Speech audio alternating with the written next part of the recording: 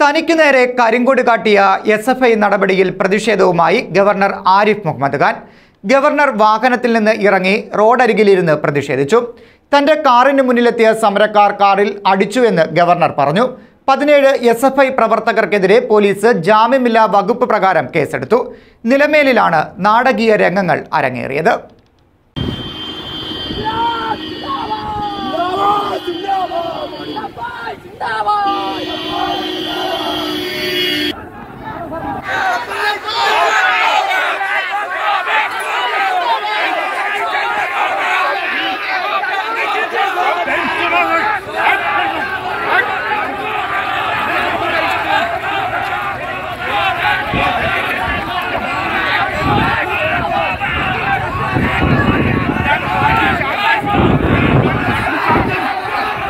കരിങ്കൊടി കാണിക്കുന്നു എന്നറിഞ്ഞിട്ടും എന്തുകൊണ്ട് എസ് എഫ് ഐക്കാരെ കരുതൽ കസ്റ്റഡിയിൽ എടുത്തില്ല എന്ന് പോലീസിനോട് ചോദിച്ചുകൊണ്ടാണ് ഗവർണറുടെ അസാധാരണമായ നീക്കം. They can treat me in any manner you, they like. I will not go from there. Why they were standing here when you were here? Action need to be taken against you. Yes, you are the culprit. No, I will not go. I will let Delhi know that you are organizing attack on me.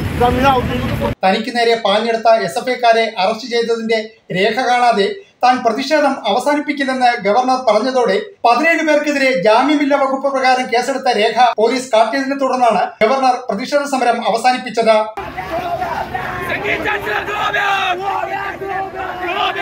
No,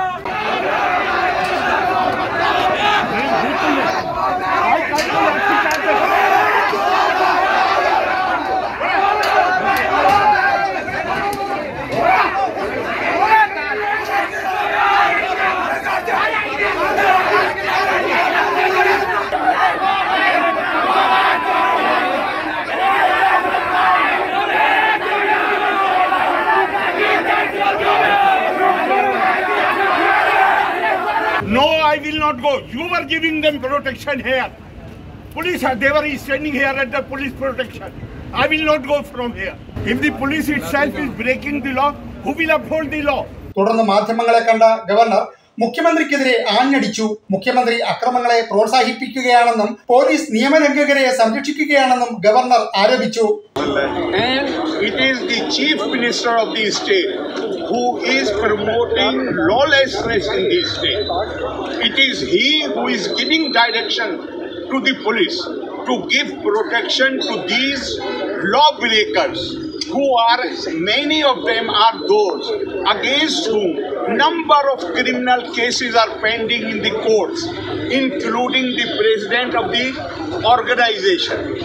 I believe more than 40 cases are pending. So policemen are not to be blamed.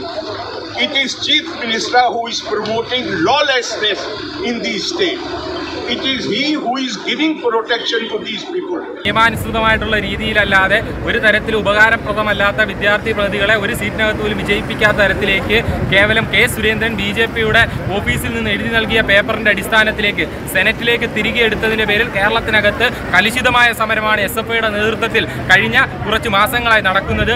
അതിന്റെ ഭാഗമായിട്ട് ഇന്ന് ഗവർണറെ കരിങ്കൊടി കാണിച്ചുകൊണ്ടുള്ള പ്രതിഷേധത്തിനാണ് ഈ നിലമേലിനകത്തേക്ക് കൊല്ലം ജില്ലയ്ക്കകത്ത് എസ് എഫ് ഐ നേതൃത്വം കൊടുക്കുന്നത്. സന്ധിയില്ലാത്ത സമരമാണ് എസ് എഫ് ഐ മുന്നോട്ട് വെക്കുന്നത്. അത് എല്ലാ ഘട്ടത്തിനകത്തേക്കും അദ്ദേഹത്തിന് ഈ എസ് എഫ് ഐ അദ്ദേഹം ബ്ലഡി ക്രിമിനൽസ് എന്നടക്കം വിളിച്ച എസ് എഫ് ഐ എന്താണ് എന്നുള്ള സമരച്ചൂട് അങ്ങ് കോഴിക്കോടും അതോടൊപ്പം തന്നെ ഇടുക്കിയിലും പാലക്കാടും തിരിച്ചറിഞ്ഞ് കൊല്ലത്ത് ഇതാ കടന്നു വരാൻ പോവുകയാണ്. ഈ സമരം വലിയ സന്ധിയില്ലാത്ത സമരമായി തന്നെ മുന്നോട്ട് പോകും എന്നാണ് ഇതിന്റെ ഭാഗമായി സൂചിപ്പിക്കാനുള്ളത്. News bureau Kottarakkara.